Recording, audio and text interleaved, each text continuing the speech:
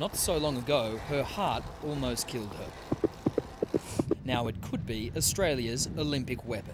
This is Campbelltown's Erin Densham on a typical day in Arizona, the land of the cactus, the coyote, and the blazing hot sun. At least out here, no chance of being run over. well, let's hope not. Might get bowled over by a coyote or something, but um, just got to steer clear of those cactus. That she's even here is a small miracle.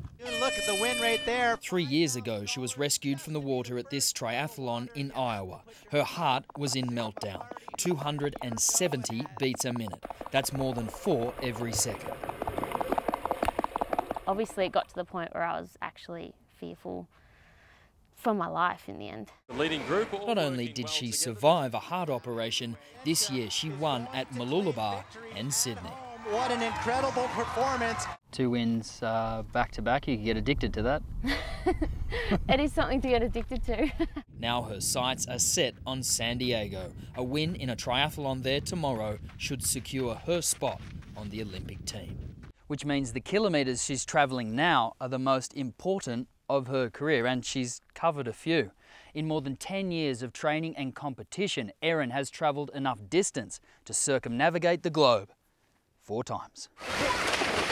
So she's grinding down the laps, wearing out the road. I don't think I've reached my potential, which, Those, those girls better look out then. well, yeah, let's hope so. And who knows where my peak performance will be? We'll never know, but hopefully it'll be on that start line in London. Denham Hitchcock, 9 News, Arizona.